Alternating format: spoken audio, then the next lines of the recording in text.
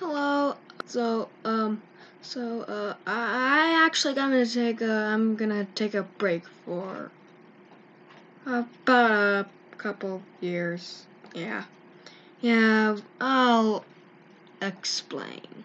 Well, YouTube is messed up, like demonetizing random video, that monetize, like copyright striking random stuff for no random reasons. Like, yeah, YouTube is a mess. And plus, like, yeah, never mind. Yeah, so I'm gonna take a break from YouTube until they get the rights from the wrong. So yeah, I'll still be active on my other accounts on other things. So yeah, I'll probably post a thing or two on those accounts or a lot. So see you around, I guess.